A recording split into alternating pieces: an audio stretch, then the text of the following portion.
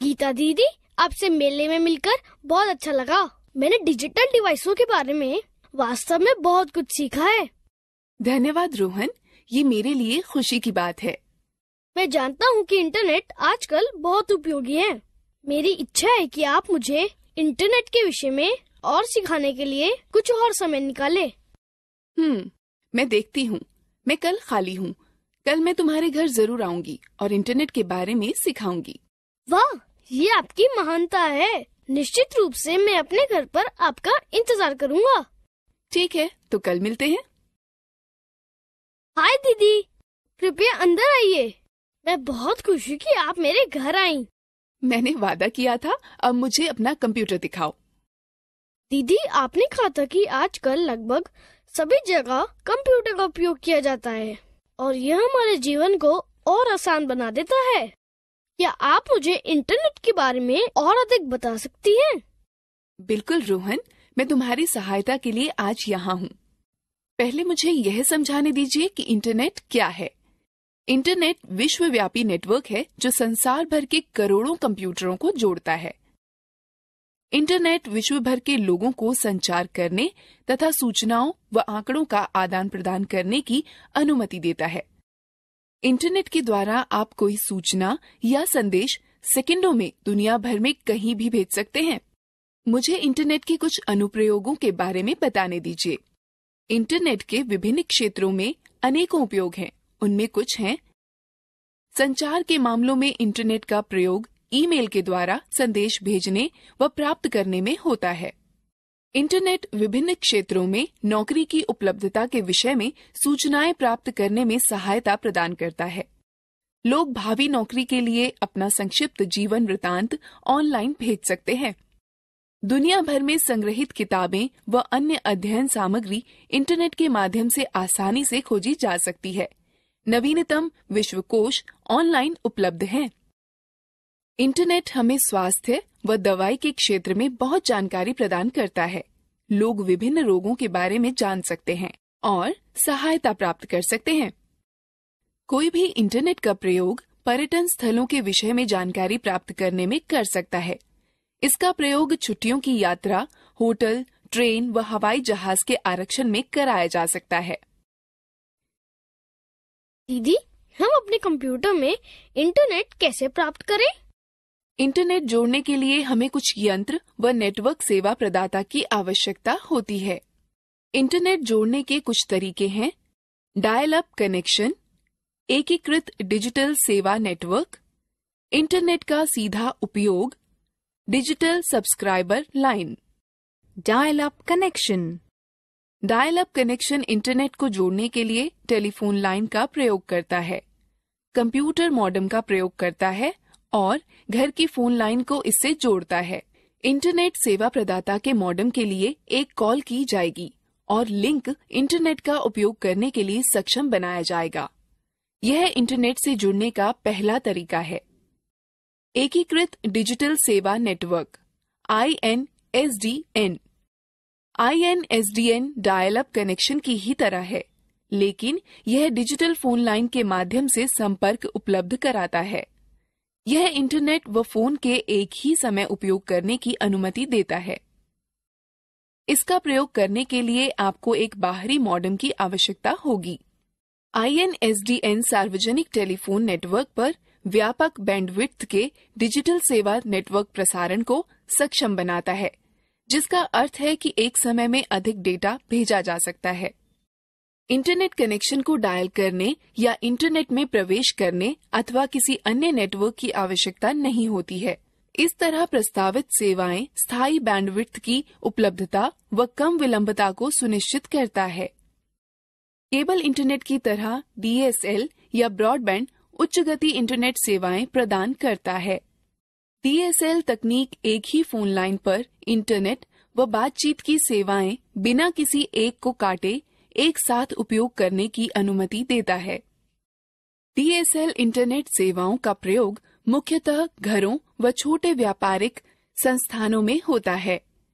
DSL internet internet से जोड़ने के लिए आपके कंप्यूटर में तीन आधारभूत तत्वों का होना आवश्यक है।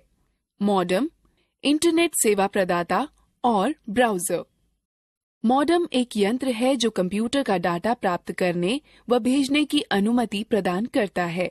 यह यंत्र कंप्यूटर के साथ जोड़ा जाता है।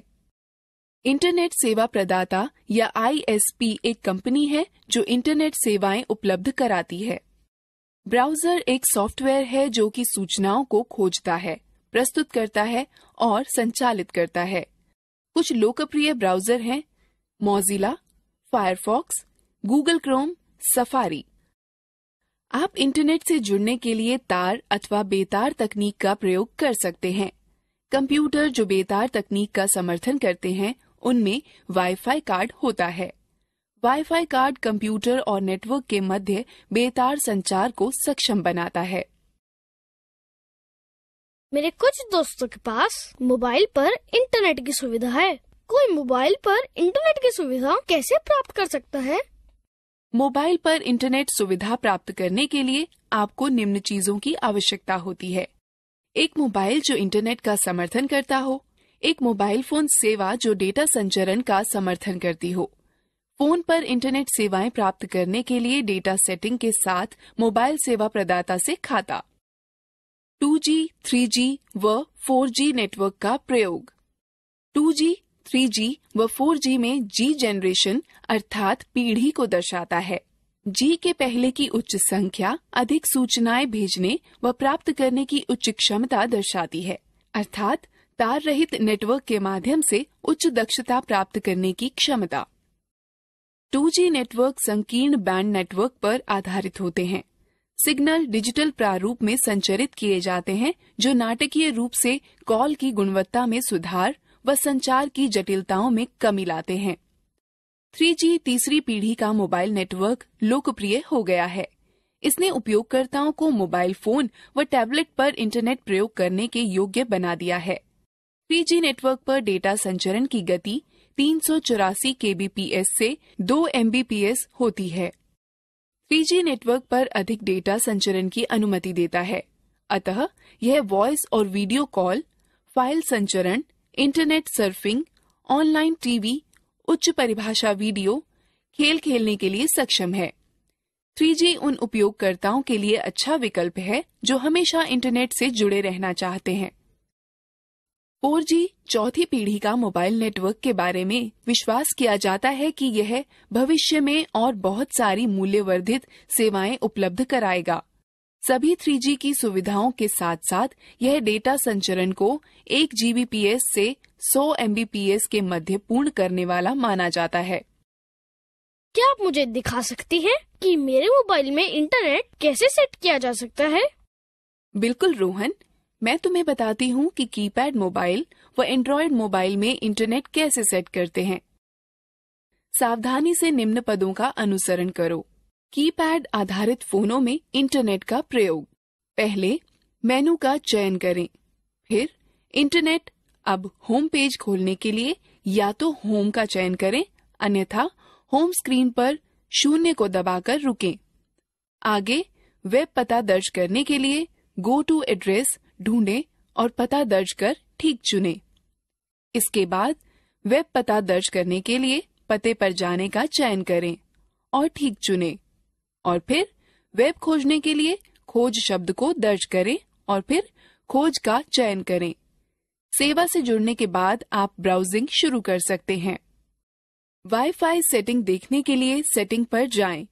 सेटिंग व कनेक्टिविटी का चयन करें, फिर वाईफाई का चयन करें। जिस कनेक्शन से आप जुड़ना चाहते हैं, उसका चयन करें। यदि आवश्यक हो तो पासवर्ड दर्ज करें।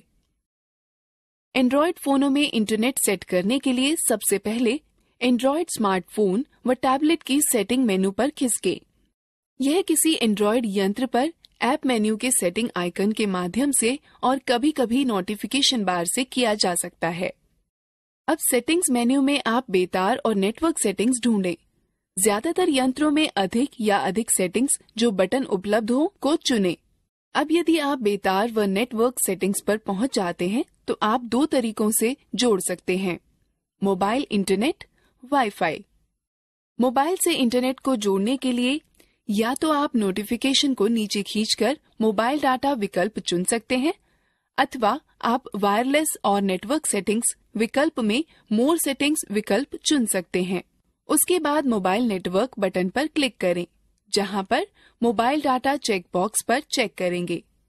जब उस पर आप क्लिक करेंगे तो आपका फ़ोन मोबाइल इंटरनेट से जुड़ जाएगा।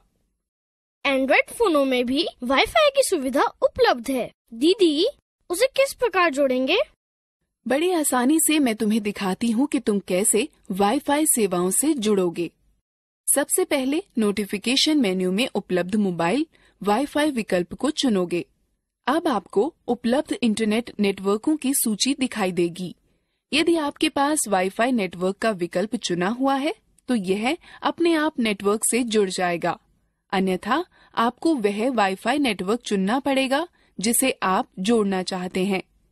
यदि पासवर्ड की आवश्यकता हो तो उसे दर्ज करें और कनेक्ट पर क्लिक करें। मोबाइल ब्रॉडबैंड तकनीक जिसे वायरलेस वाइड एरिया नेटवर्क भी कहते हैं, जो मोबाइल इंटरनेट से जुड़ने की सुविधा प्रदान करता है। मोबाइल ब्रॉडबैंड का प्रयोग करने के लिए आपको एक डाटा कार्ड और एक डाटा प्लान के साथ मोबाइल ब्रॉडबैंड सुविधा प्रदाता की आवश्यकता होती है। आप अपना उपकरण और डाटा प्लान प्राप्त करने के बाद सब्सक्राइबर आइडेंटिटी मॉड्यूल सिम और सिम के लिए मोबाइल ब्रॉडबैंड सुविधा का चालू होना सुनिश्चित करें, जिसके चालू होने की सूचना आपको आपका मोबाइल प्रचालक अथवा उपकरण विक्रेता देगा। प्रथम बार ब्रॉडबैंड सुविधा संयोजित करने के लिए निम्न पदों का अनुसरण करें। नोटिफिकेशन एरिया में नेटवर्क आइकॉन पर क्लिक करके नेटवर्क से जोड़ने का विकल्प खोलें। अपने फ़ोन के मोबाइल ब्रॉडबैंड पर राइट क्लिक करें, तत्पश्चात कनेक्ट पर क्लिक करें। यदि कहा जाए तो एक्सेस पॉइंट का नाम या एक्सेस स्ट्रिंग उपयोगकर्ता का नाम व पासवर्ड टाइप करें। यदि आप किसी ऑटो कनेक्ट सेटिंग को बदलना चाहते हैं तो उसे बदलें, फिर जारी रखें पर क्लिक करें। ब्रॉडबैंड का प्रयोग करके इंटरनेट संयोजित करने के लिए नोटिफिकेशन एरिया में नेटवर्क आइकॉन पर क्लिक करके नेटवर्क से जोड़ने का विकल्प खोलें। अपने मोबाइल ब्रॉडबैंड के नाम पर क्लिक करें, फिर कनेक्ट पर क्लिक करें। यदि आवश्यक हो तो अपने फ़ोन के मोबाइल ब्रॉडबैंड पिन टाइप करें, फिर एंटर दबाएँ। ब्रॉडबैंड का प्रयोग करके इंटरनेट वियोजित करने के लिए नोटिफिकेशन एरिया में नेटवर्क आइकॉन पर क्लिक करके नेटवर्क से जोड़ने का विकल्प खोलें। अपने मोबाइल ब्रॉडबैंड के नाम पर क्लिक करें, फिर डिस्कनेक्ट पर क्लिक करें। मैंने सुना है कि कोई भी अपने स्मार्टफ़ोन को लैपटॉप से जोड़ सकता है। क्या ये सही है, दीदी? हाँ बिल्कुल, रोहन। तुम स्मार्टफ़ोन को लैपटॉप से जोड़ सकते हो। स्मार्टफ़ोन व लैपटॉप को जोड़ने या टेथरिंग पर आपका स्मार्टफ़ोन वास्तव में वाईफाई हॉटस्पॉट में परिवर्तित हो जाता है, जिसे कि आपका लैपटॉप एक्सेस कर सकता है। एंड्रॉयड फ़ोन टैबलेट को लैपटॉप से जोड़ने के लिए निम्न पदों का अनुसरण करें। पहले वायरलेस और नेटवर्क सेटिंग मेन्यू पर जाएँ। कुछ फोनों में वायरलेस हॉटस्पॉट बनाने के लिए एप्स मेन्यू में ऐप होते हैं। अब जोड़ने वाले वहनीय हॉटस्पॉट या इसी तरह के किसी विकल्प पर क्लिक करें। आगे वहनीय हॉटस्पॉट या इसी तरह के किसी विकल्प को चालू करो और नेटवर्क का नाम सेट करो और अथवा पासवर्ड सेट करो। तब दाएँ हाथ पर सबसे नीचे दिए हुए वायरलेस नेटवर्क को वायरलेस नेटवर्क के माध्यम से अपने लैपटॉप के नेटवर्क से जोड़े। इंटरनेट के बारे में सीखना दिलचस्प नहीं था। अब हम लोग मज़ेदार गतिविधि में भाग दीदी क्या आप जानती हैं कि हम इंटरनेट पर कुछ ढूंढते समय हाइपरलिंक के सामने www क्यों लिखते हैं? www का अर्थ वर्ल्ड वाइड वेब होता है। वर्ल्ड वाइड वेब मैंने इसके विषय में बहुत सुना है। क्या आप इसके बारे में और बता सकती हैं? ज़रूर, रोहन। मैं बताती हूँ कि वर्ल्ड वाइड वेब क्या है। World wide web W W W world wide web का प्रतीक है। वर्ल्ड वाइड वेब में वेब उपसमुच्चय है, न कि उसका पर्याय। वेब पन्नों से मिलकर बनता है, जिन तक वेब ब्राउज़र का उपयोग कर पहुँचा जा सकता है। टेलनेट एफटीपी, इंटरनेट जुआ इंटरनेट रिले चैट आईआरसी और ईमेल सभी इंटरनेट का अंग हैं, लेकिन यह सब वर्ल्ड वाइड वेब का अंग नहीं है। हाइपर टेक्स्ट ट्रांसफ़र प्रोटोकॉल एक विधि है जिसका प्रयोग वेब पन्नों को आपके कंप्यूटर को स्थानांतरित करने में किया जाता है। हाइपर टेक्स्ट के साथ शब्द या वाक्यांश दूसरी वेबसाइट के साथ संपर्क बनाए रख सकते हैं। वर्ल्ड वाइड वेब के अंग हैं web server, web browser, web page website web address. Web server एक पद्धति है जो इंटरनेट पर अंतिम उपयोगकर्ता तक विषय वस्तु या सेवाओं को उपलब्ध कराता है। वेब सर्वर्स वे कंप्यूटर हैं जो वेब पेजों को उपलब्ध कराते हैं। प्रत्येक वेब सर्वर का एक आईपी पता व डोमेन नाम होता है। उदाहरण के लिए यदि आप अपने ब्राउज़र में दर्ज करते हैं कि U R L H T T P colon slash slash W W W dot Google dot com slash index dot H T M L यह एक वेब सर्वर जिसका डोमेन नाम गूगल डॉट कॉम को निवेदन भेज देता है। वेब ब्राउज़र एक सॉफ्टवेयर अनुप्रयोग है जिनका प्रयोग वर्ल्ड वाइड वेब पर ढूँढने, पुनर्प्राप्त करने, विषय वस्तुओं को प्रदर्शित करने में होता है। इसके अतिरिक्त इसमें वेब, फोटोएँ, वीडियो व अन्य फाइलें आती हैं। जैसे कि ग्राहक, सेवक मॉडल, कंप्यूटर पर चलने वाला वेब ब्राउज़र एक ग्राहक है, जो वेब सर्वर से संपर्क कर सूचना के लिए निवेदन करता है। वेब सर्वर सूचनाएँ वापस वेब ब्राउज़र को भेज देता है। जो परिणामों को कंप्यूटर पर दर्शाता है, अथवा उन डिवाइस पर दिखाता है जो ब्राउज़र को सहारा देते हैं। वेब पेज वह है जिनसे वर्ल्ड वाइड वेब बनती है। यह दस्तावेज़ H T M L hypertext, markup, language, भाषा में लिखे जाते हैं और आपके ब्राउज़र के द्वारा अनुवादित किए जाते हैं। वेब पेज या तो स्थैतिक अथवा गतिक हो सकते हैं। स्थैतिक पृष्ठ प्रत्येक बार खोले जाने पर एक ही विषय वस्तु दर्शाते हैं।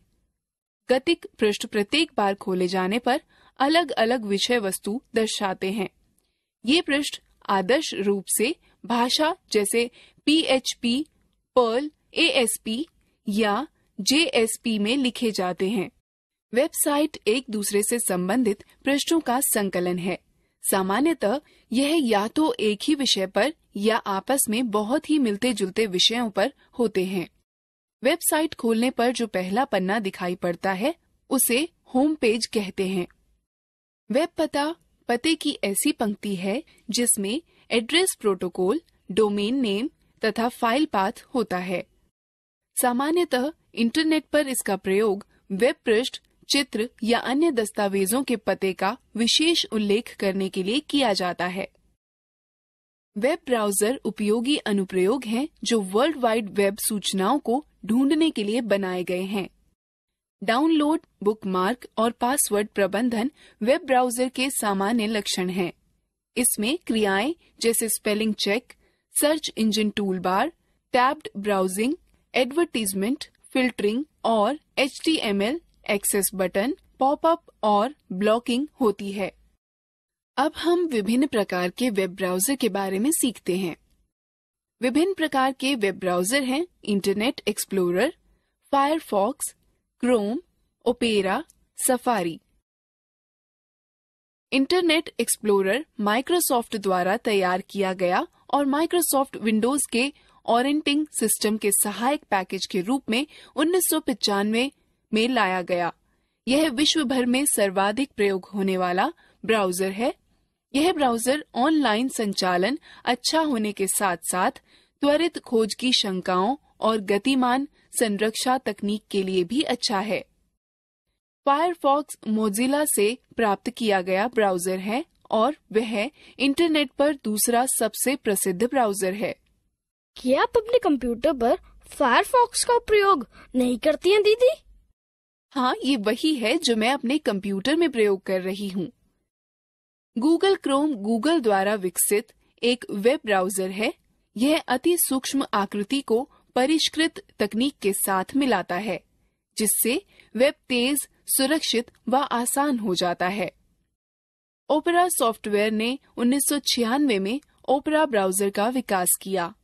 ओपरा अन्य ब्राउजरों से छोटा है और ज़्यादातर अन्य ब्राउजरों से बहुत तेज काम करने वाला है। यह तेज है और यह कीबोर्ड कई विंडो जूम फ़ंक्शंस व अन्य के साथ आसानी से चलता है। यह जावा व जावा रहित दो रूपों में मिलता है।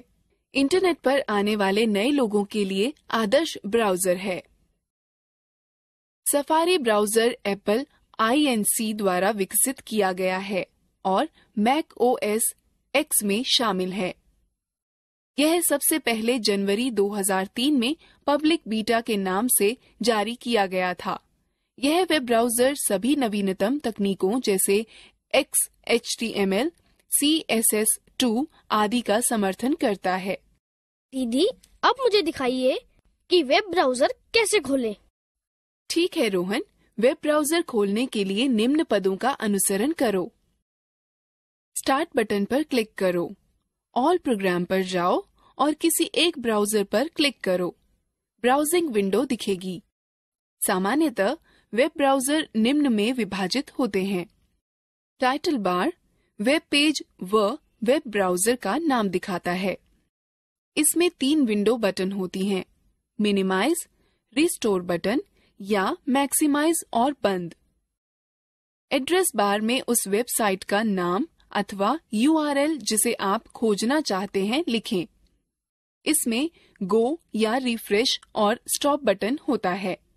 गो बटन वेब पेज या वेबसाइट को लोड करने में आपकी सहायता करता है। रिफ्रेश बटन आपको वेब पेज को पुनः लोड करने में मदद करता है और स्टॉप बटन एक्सप्लोरर द्वारा चलाए जा रहे किसी भी अनुप्रयोग को रोकने में मदद करता है। एड्रेस बार के बाईं ओर बैक व फॉरवर्ड बटन होते हैं। ये बटन आपको हाल ही में चलाई गई पीछे की और आगे की वेबसाइट पर जाने में मदद करते हैं। मेन्यू बार पर कई विकल्प होते हैं, जैसे file, edit, view, favourite, tools और हेल्प। वेब पेज क्षेत्र वह क्षेत्र है जहाँ पर वेबसाइट या वेब पेज दिखते हैं। Status bar, website, web page की प्रगति या स्थिति के बारे में वेटिंग, लोडिंग या डन दिखाकर बताता है। सर्च इंजन वह वेबसाइटें हैं जिनका उद्देश्य उस वेबसाइट को ढूंढना है जिसे सूचना पाने के लिए ढूंढ रहा है, किंतु उसके पास उस वेबसाइट का विशिष्ट पता उपलब्ध नहीं है। कुछ प्रसिद्ध सर्च इंजन जैसे Google, Yahoo M S N है। गूगल सबसे प्रसिद्ध सर्च इंजन है।